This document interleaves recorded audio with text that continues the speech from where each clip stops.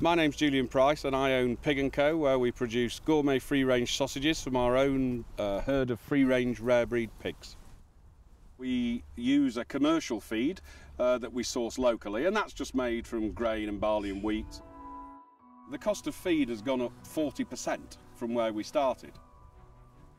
In terms of keeping the pigs, raising the pork and putting it on the butchery table, probably accounts for 80 to 90% uh, of the total cost of the final pork.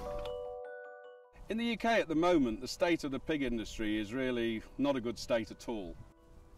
It's got to the point now where, for example, I can buy a leg of pork in most of the leading supermarkets for a pound a kilo cheaper than I can put my own pig on my own butchery table to make sausages. I believe that there is a very strong business case uh, for feeding food waste and commercial food waste to pigs. I've not yet come across a customer, and I have discussed it at length with many of them, who have any problem at all with us feeding our animals with commercial catering waste. The more varied diet I feed my pigs, quite simply, the better tasting is the pork. If we could get hold of commercial catering waste that had been properly treated and was safe and regulated, then that would make a huge difference uh, to our business uh, and in fact would make the difference between profit and loss.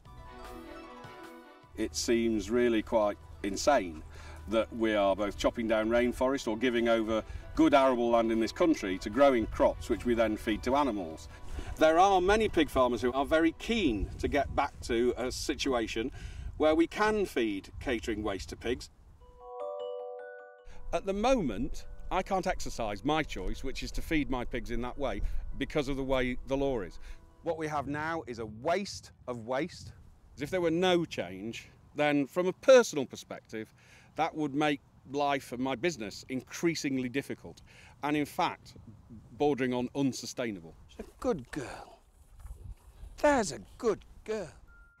All of us in our lives, at some point in our lives, will need the services of a good doctor or a good lawyer or a good solicitor once or twice in our lives. But every day of your life, three times a day, you need the services of a farmer. And if we're not here because we've not been supported, then that's going to challenge the food security of this country because we're going to have to import a lot more food. We're going to be bringing food in from systems that have far lower animal standards than ours, where traceability is an issue.